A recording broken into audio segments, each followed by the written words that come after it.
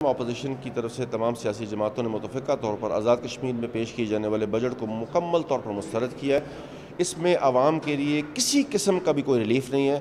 इस वक्त पाकिस्तान के अंदर, आज़ाद कश्मीर के अंदर हेल्थ एमरजेंसी का नफाज है और आप यकीन जानिए कि इस पूरे अरसे के दौरान, इस बजट में सिर्फ़ इन्होंने अपने एम एल को नवाजने के अलावा, उनको लोकल गवर्नमेंट के फंड्स देने के अलावा, उनको सड़कात देने के अलावा कोई ऐसी रिलीफ आवाम के लिए सामने नहीं रखी।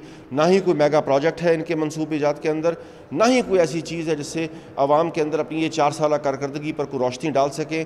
हमने इस अमर को यकीनी जाना कि इस बजट में हमें हिस्सा नहीं बनना चाहिए, क्योंकि ये आवाम दुश्मन बजट है, ये आवाम दोस्त बजट नहीं है।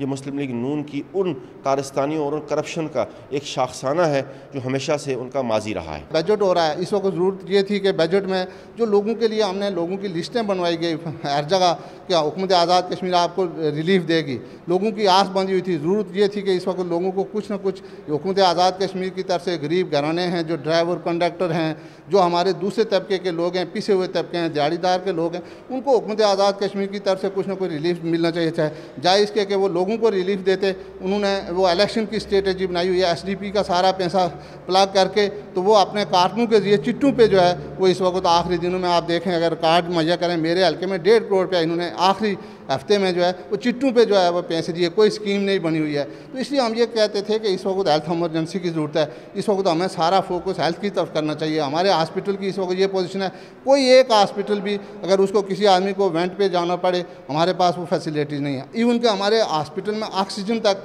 लोगों को मुहैया नहीं है कि हम लोगों को ऑक्सीजन मुहैया कर सकें। इसलिए हमने हुकूमत से कहा था कि आप हमारे साथ बैठें अपोजिशन के साथ बैठें शावरत करें। देखिए, किसी भी हुकूमत का जो बजट है, उसे माजी की कारकर्दगी के तनाजर में देखा जाता है मुस्तबिल की मनसूबबंदी के तनाजर में देखा जाता है, रिलीफ के तनाजर में देखा जाता है, और मौजूदा दौर में जो वबाई मर्ज़ है कोरोना की, कोविड नाइन्टीन की, उसके तर्ज में देखा जाना है।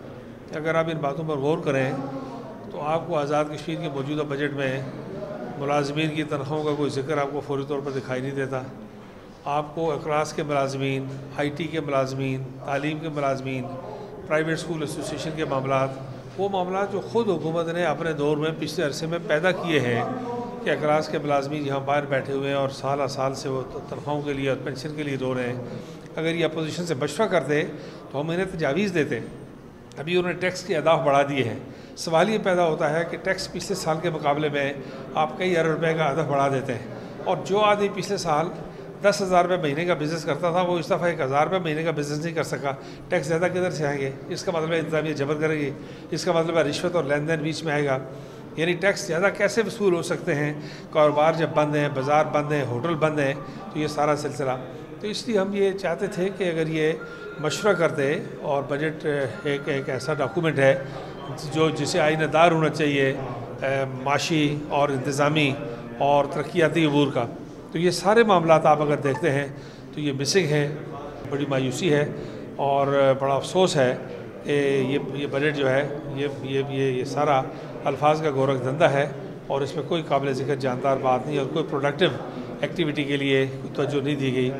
और ये ये बजट जो है, ये बस आखिरी साल का इलेक्शन बजट समझ के बनाया गया अपनी मखसूस ज़रूरियात को पूरी करने के लिए।